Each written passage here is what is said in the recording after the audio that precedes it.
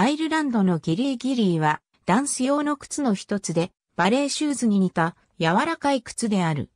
アイリッシュダンスでは女性がスコティッシュカントリーダンスやハイランドダンスでは男性、女性ともに着用する。ギリーはライトシューズ、ポンプス、パンプス、ソフトシューズなど様々な名前で呼ばれることがある。日本ではギリーシューズと呼ばれることもある。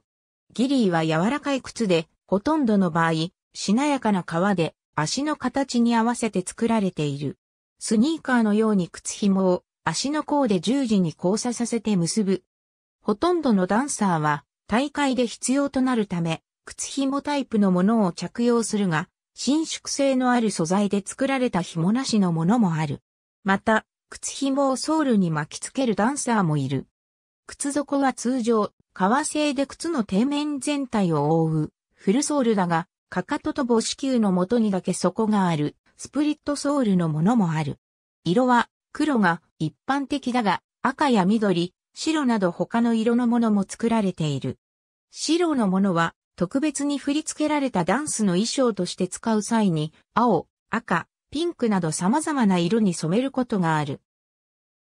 スコティッシュギリーは、ハイランドダンスやスコティッシュカントリーダンスで使われるもので、男性、女性ともに着用する。色付きのステッチやアイレットを施したものもあるが、ほとんどの場合黒のものが使われる。ハイランドダンスのハイランドギリーは、一般的にはぴったりとフィットさせるが、厚い靴下やホーズの上に履くこともある。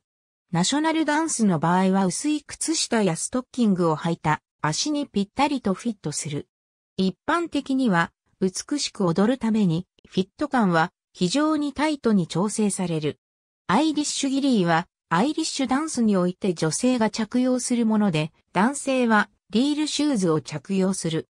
スコティッシュギリーとは異なり、アイリッシュギリーはステッチに色糸を使うことは滅多になく、アイレットの代わりに革製のループに紐を通す作りになっている。靴底は無地のフルソールとスプリットソールのどちらもある。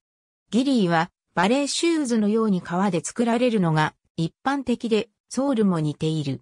ハイランドダンスやアイリッシュダンスの初心者にはコストが格段に安く済むためバレーシューズを使うものも多い。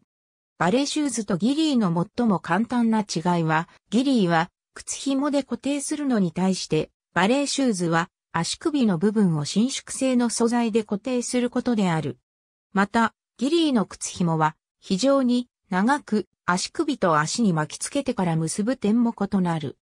他にも、ギリーは靴の端を紐や伸縮性の素材で締めることができないことや、靴底が縫い止めではなく接着されている点も異なる。ありがとうございます。